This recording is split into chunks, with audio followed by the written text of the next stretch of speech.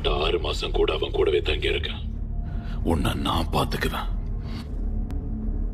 உன்னை கொல்லுவேன். ரசிச்சு ரசிச்சு உன்னை கொல்லுவேன். இந்த புறம்போக்கு நாய்க்கு ட்ரீட்மெண்ட் கொடுத்து எதுக்காக நாம காப்பாத்திட்டு இருக்கோம்? அவனால பேச முடியுமா? கீ கொடுத்தா பேசுவான்னு நினைக்கிறேன். ப்ரொஃபசர் அவன் பேசுவான். அவன் நைரோபிய கொன்னவன். எதுக்காக அவனை இன்னும் நம்ம உயிரோட வச்சிருக்கோம்? நாம இவனை கொன்றுவோம். முடிவு அவன் கையில தான் இருக்கிறியோ?